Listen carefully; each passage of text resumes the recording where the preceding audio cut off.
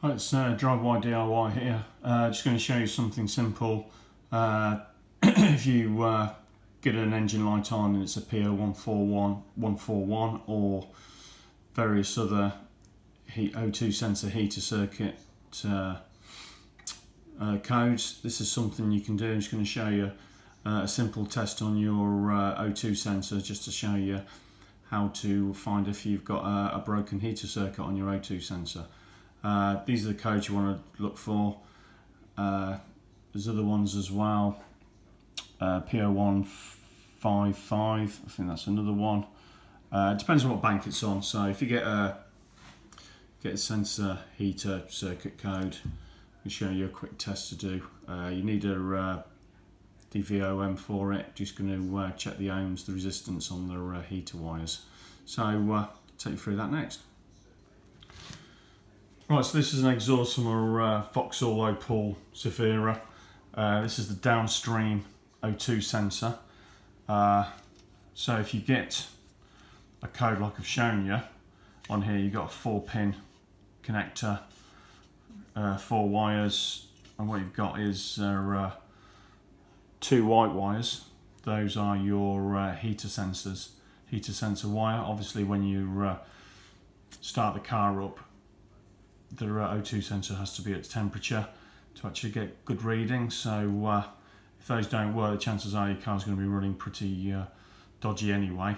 So what you've got to do is find the resistance between that white wire and that white wire. So uh, we're going to do that next. Just get your DVOM, DVOM and change it to our uh, uh, ohm settings to uh, see what your resistance is going to be. So on here, I don't know if you can see any better. So you've got your four connectors and you've got inspection holes as well. So what we don't want to do is is splay apart those connectors. We want to probe just above them into those inspection holes that we've been given. Right, so what I've got here, just trying to keep it together. See it? So I've got two probes in on the uh, heater wires on the heater connectors. So I've got it to ohms, set to ohms it's showing good continuity. So I know my heater uh, O2 heater is good. But if that continuity disappeared or the resistance was really really high then I know we've got a problem. So we probably have to replace our O2 sensor. If it's nothing like that then it's probably going to be something else to do with your wiring. You really really need to check your wiring uh, but just see if we can get a better picture. You can sort of see see where I've put them in. You can see where I've put them in. So they're just above the connector. They're not actually in the connector. That's giving me that uh, uh, continuity value. So uh, that's what I'm doing.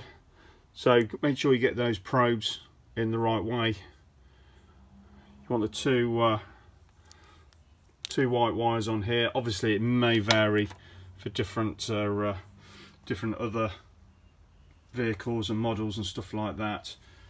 That's my uh, that's where it's in that's whereabouts. This is a downstream sensor and it probably it will be the same for the upstream sensor as well.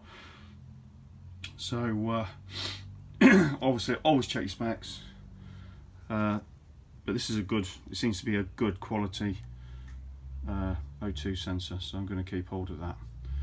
Uh, so hopefully this helps you. Thanks for watching.